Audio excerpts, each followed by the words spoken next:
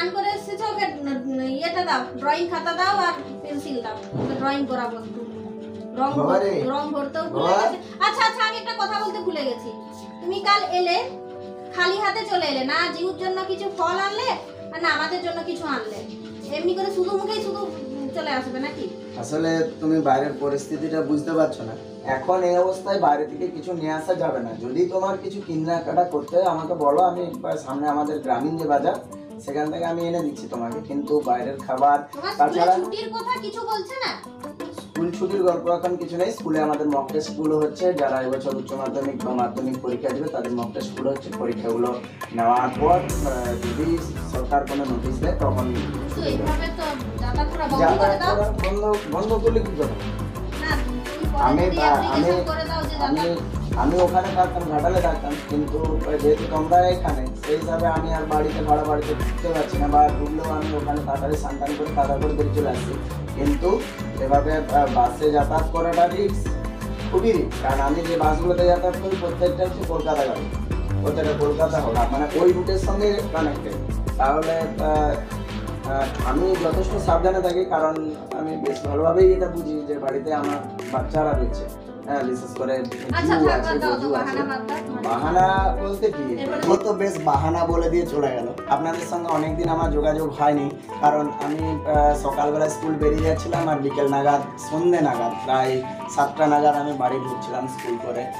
বাসে যাতায়াত করছি এটা একটা আমার যেমন রিক্স এরকম বাড়িতে অন্যান্য যারা রয়েছে তাদেরও রিক্স তো কিছু করার নেই। ওরা এখানে রয়েছে, মায়ের অপারেশনটা আছে, চব্বিশ তারিখ মাকে অ্যাডমিশন করানো হবে। সেই কারণে ওদেরকে আবার নিয়ে যাব, আবার নিয়ে আসব, এরকম একটা ভাবনা হলো মাথায়। এই কারণে আর ওদেরকে নিয়ে যায়নি। আগে হয়ে যাক মায়ের অপারেশনটা, তারপর না হয় তোমরা যাবে। তো এই কারণে আমি একাই যাতায়াত করছি, নিজে ও এখানে আমাকে ব্যাগে টিফিন ভরে দিচ্ছে, টিফিন নিয়ে যাচ্ছি, আবার সন্ধ্যাবেলা এসে ভাত খাচ্ছি, কারণ আমি ওখানে রান্না করিনি, আর সে সময় নেই, ব্যাপারটা এটা যে রান্না হয়তো করে নিতে পারব তো কিন্তু সে সময়টা নেই। তো আমার এখান থেকে, বাড়ি থেকে আমার স্কুলের দূরত্ব প্রায় সাড়ে তিন ঘণ্টা আমাকে বাস জার্নি করতে হবে, তারপরে একটা টোটো বা অটো করে স্কুল পৌঁছাতে হবে। তাহলে এক্ষেত্রে একটা সমস্যা হয়ে যাচ্ছে। কি আর করব বন্ধুরা? ও বুঝতে পারছে না, বাহানা বলছে। যাই হোক, আমার কথাগুলো আপনারা অন্তত বোঝার চেষ্টা করবেন যে কি পরিস্থিতিতে আমি এখন যাতায়াত করছি এই ভর দুপুর গরমকাল তারই মাঝে আমাকে তিন ঘণ্টা তিন ঘণ্টা করে বাস জার্নি করতে হচ্ছে। আমার বাড়ি থেকে পঁচাত্তর কিলোমিটার দূর, এই হিমগড় থেকে ঘাটাল। একেবারে স্কুল পর্যন্ত পঁচাত্তর কিলোমিটার, বরং আরও চার পাঁচ কিলোমিটার বেশি হবে। এই অবস্থায় আমি নিজেও জানি যে বাইরে বেরোনো উচিত নয় গাড়িতে চাপা উচিত নয়। আপনারা ওকে বলবেন কমেন্টে যে আহ, আমি আমার কথাটা ওকে বোঝানোর চেষ্টা করছি কিন্তু ও বুঝলে তো ও বলছে বাচ্চার জন্য কিছু আনোনি আমি এখানে সামনে আমাদের বাজার রয়েছে নিয়ে চলে আসব। তো আপনারা কেমন আছেন? আপনাদের সঙ্গে অনেকদিন আমার নিজস্ব যোগাযোগ হয়নি।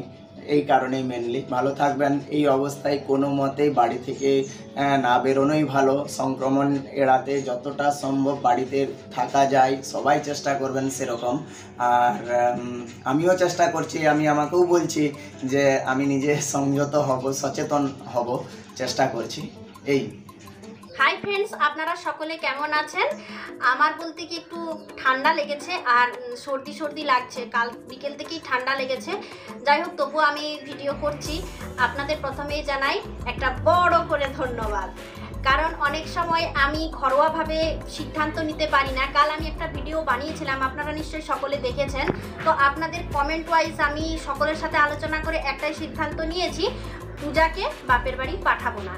আমি আপনাদের সব কমেন্টগুলো ওকে চেক করা করিয়েছি, যে এটা আমার কথা নয়, তুমি সকলের কমেন্টগুলো পড়ো। এতে করে কি হলো? আমাদের ঘরোয়াদের সমস্যা হচ্ছিল, আমার উপরে চাপ সৃষ্টি হয়েছিল, সেটাও মানে ঠিক হয়ে গেল, আর ও ওর হাজব্যান্ডকেও দোষারোপ করতে পারবে না। তাহলে আপনারা আমাকে কতটা মানে পরিমাণকাল সাহায্য করেছেন? ভিডিওটা ওয়াচ করে, তার সাথে কমেন্ট দিয়ে আপনারা আমার জন্য সময় খরচ করেছেন, আর তার সাথে সঠিক সিদ্ধান্তটা আমি নিতে পেরেছি শুধু আপনাদের জন্য। তার জন্য আমি একটা বড় করে ধন্যবাদ দিয়ে দিই প্রথমেই আপনাদের, তারপরে আমি আসছি আরও অন্য প্রসঙ্গে। কে আটা চালতে দিল তোকে? দিদুন তুই গান করতে বললাম ছুটে চলে এলি উপর থেকে গানও করলি না। আর পাগলো দেখ কি হচ্ছে? স্নান করব তো। বলে আটা মাখবে তুমি? কেন? পাগুলো দূরে লাগলেই তো হচ্ছে। দেখুন বন্ধুরা আটা কেমন সুন্দর চালছে আটা আমাকে ও চালতে দেয় না। এখানে কটা প্যাকেট আছে? এক দুই তিন চার। চার প্যাকেট আটা তার একটা চালা শুরু হয়েছে। হ্যাঁ তুমি বসেছো কিসে? বালিশ বসতে নেই বাবা, নামো নামো নামো। বন্ধুরা, আজ রান্না হচ্ছে বলতে আম দিয়ে মুসুরের ডাল হচ্ছে, আর এখন আম দিয়ে মুসুর ডাল খাবারই সময়। টক টক ডালটা খেতে কিন্তু খুব সুন্দর লাগে। তার সাথে মা তরকারি করছে, আমি আজকে রান্না ঘরে যাইনি। এই দেখুন, লোটে মানে লাল লোটে। লাল লোটে দিয়ে, কুমড়ো দিয়ে, আলু দিয়ে একটা মাখা মাখা তরকারি হচ্ছে। তার সাথে হচ্ছে কি হচ্ছে ভাই বলো তো ইঁচড়। ইঁচড় দিয়ে আলু দিয়ে একটা মাখা মাখা তরকারি। তাহলে দুই রকম তরকারি। আজ রবিবার, আজকে তো সবাই বাড়িতে আছে এমনিতেই। তার জন্য একটু রান্নাটা বেশি করে হচ্ছে। আপনাদের তো আমি বললামই যে আজকে লোটে ডাটার তরকারি হচ্ছে। বাবা বাজার থেকে এইরকম মোটা লোটে ডাটা এনেছিল। আর এটা হচ্ছে শিকড়টা। এখন এটা আমি লাগিয়ে দেবো।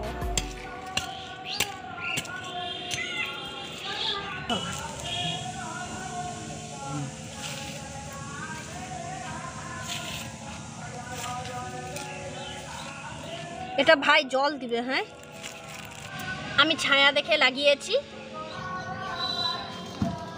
এখন গরমকাল এসেছে মানেই জামা কাপড় আর বেশিক্ষণ রোদে রাখা যাবে না। হালকা হালকা একটু জল ঝরে গেলেই তুলে নিই আর ঘরে একটু আধটু করে মিলিয়ে দিই।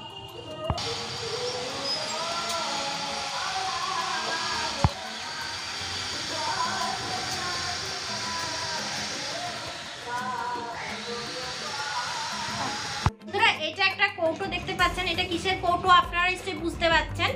এটা হলো ঔষধের কৌটো এই ওষুধটা আমার বাবা খায়। এই ওষুধটার নাম হচ্ছে, কেন খায় আমি আপনাদের সব ডিটেলস বলছি।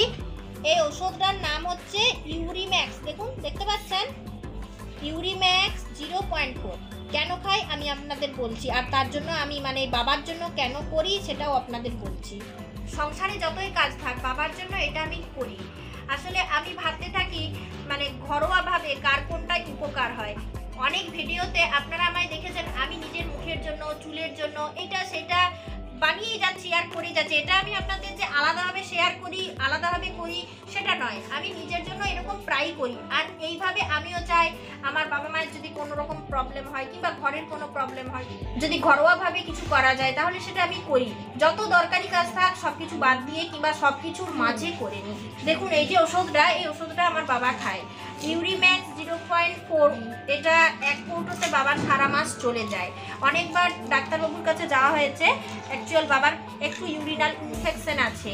আর ইউরিনাল ইনফেকশনটা কোনো লজ্জার ব্যাপার না, এটা সকলের হতে পারে। আর যাতে না হয়, তার জন্য আমাদের কিছু করতে হয়। যে কাজগুলো আমি বাড়িতে করি, এখন বাবা ভালো আছে, বাবার কোনো অসুবিধা নেই। আর যাতে এটা কারও না হয়, তার জন্য আমি এই ব্যবস্থাটা করি। অবশ্যই কি করি, সেটা আমি আপনাদের শেয়ার করব। বন্ধুরা, আমি কিছুক্ষণ আগে আপনাদের বলছিলাম ইনফেকশন এড়াবার জন্য যেটা আমি বাড়িতে এমনি বাবার জন্য তৈরি করি। বাবা কেন? সকলেরই আমাদের বাড়িতে লাগে। তাহলে চলুন দেখাই আপনাদের। আজ আমি তৈরি করছি, যার কারণে আপনাদের শেয়ার করছি। চাইলে আপনারাও কিন্তু পারেন এটা তৈরি করে নিতে। আসুন, দেরি নয়, কারণ আমার অনেক কাজ আছে, করব এখনও পর্যন্ত মানে রান্না দেখতেই পেলেন। মানে আধা হয়েছে, এখন আধা বাকি আছে। আসুন।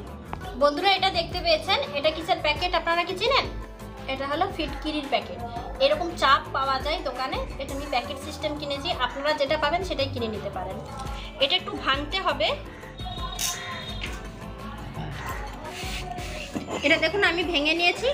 আর এই দেখুন, এটা আমি একটু ব্লেন্ড করব। বন্ধুরা এই দেখুন, আমি ফিটকিরিটা একেবারে ব্লেন্ড করে নিয়েছি। আরও একটু ছিল, দিয়ে দিয়েছিলাম। মানে প্লাস্টিকের মধ্যে একটু মোড়া ছিল, সেটাও দিয়ে দিয়েছি। আর এইখানে দেখুন, আমি জল নিয়েছি। এতটা পরিমাণ জল নিয়েছি, এটা আমার অনেক দিন চলে যাবে। এখন আমি পুরো ফিটকিরিটা এখানে দিয়ে দিচ্ছি।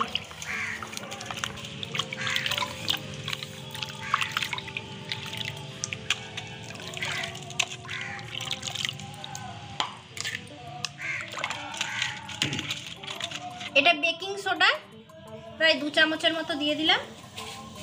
এরপর দিয়ে দেব দেখুন, ভিনিগার। দিয়ে দিচ্ছি ভিনেগার। এটা জীবাণু নাশ করতে সক্ষম। এখন এটা আমি দিয়ে দিচ্ছি।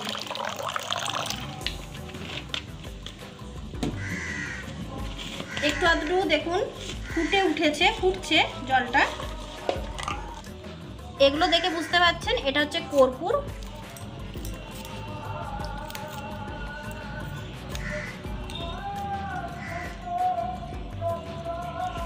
এই কর্পূরগুলো দিয়ে দিচ্ছি।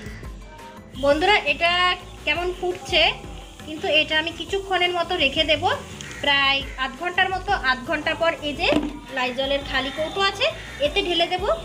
টয়লেট করবার পর মানে বাথরুমের কাজ সারবার পর, আপনারা এই কৌটোর এই যে ঢাকনাটা রয়েছে এর এক ঢাকনা দিলেই যথেষ্ট। জীবাণু নাশ হলো, একটা ভালো সুগন্ধ ছড়ালো, আর এই এখনের সময় তো লাগবেই। এই জীবাণুনাশকগুলো নিজেদেরকে বাড়িতে প্রস্তুত করে রাখা দরকার। আমি আমার বাবার জন্য এটাই করি। নিচে তলায় বাথরুম আছে উপর তলায় বাথরুম আছে। এখন এটা আমি এই মানে এই জলটা ভাগ করে নেব না।